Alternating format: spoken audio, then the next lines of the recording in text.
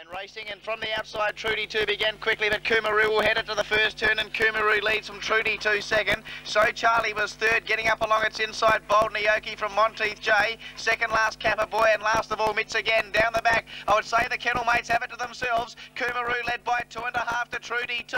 Three further back in the field, then to So Charlie. On its outside, Bold Nioki, then Monteith J, but coming to the turn, Coomooroo doing it well. Trudy 2 can't get it, then So Charlie and Monteith J, and Coomooroo wins half. Monteith J made very good ground late. Third placing So Charlie. Trudy too tired. Further back Mitz again with Bold Nioki and Kappa Boy. 452.